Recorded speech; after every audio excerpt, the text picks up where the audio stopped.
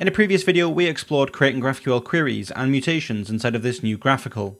We previously seen how we can explore the documentation using the schema introspection results. Here we can see a list of all of our queries, and we can see a list of all of the mutations, including their descriptions and the input argument types. Today we'll explore adding a plugin that will help us create our queries. We'll be able to pick from the list and check on the boxes of the fields we want to include, and we can do this using a plugin called GraphQL Explorer. Here I have a very simple React application using the GraphiQL package.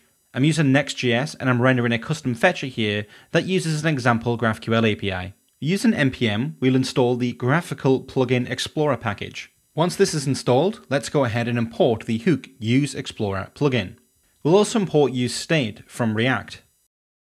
To finish our list of imports, let's import the style.css file from the Plugin Explorer package. Next, let's go ahead and declare a query, getter, and setter, and we'll invoke useState. Here I'll provide an empty string. You can also provide here an initial GraphQL query that you can pass to the playground. Next, let's go ahead and declare Explorer plugin. We'll invoke the useExplorer plugin hook. Here we'll pass query and onEdit. We'll pass setQuery to the onEdit handler. Now, inside of where we invoke the GraphiQL component, we can pass an array of plugins.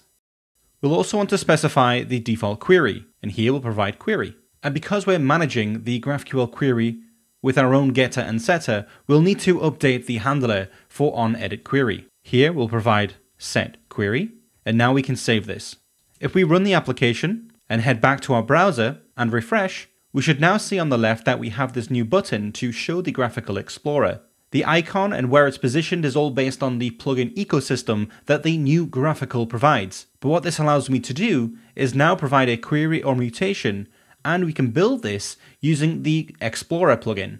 If we grab the ID of our cart that we previously ran and head back to our other tab, here we can provide the ID, which is updated here instead of the Explorer, and then we can click through to any number of the fields inside of here. If we choose to include the name of all of our items and run the query, we can see here that it has successfully been executed against the GraphQL API using that custom fetcher. This is just one of the examples of the plugins that's available with GraphiQL, and you can build your own using the plugin ecosystem.